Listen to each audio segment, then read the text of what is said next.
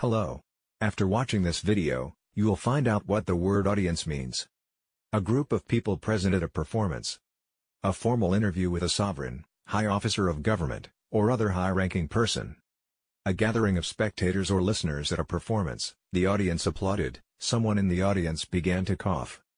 The part of the general public interested in a source of information or entertainment, every artist needs an audience, the broadcast reached an audience of millions. A conference, he had a consultation with the judge, he requested an audience with the king. An opportunity to state your case and be heard, they condemned him without a hearing, he saw that he had lost his audience. A conference. A gathering of spectators or listeners at a performance. The part of the general public interested in a source of information or entertainment. An opportunity to state your case and be heard. Dot.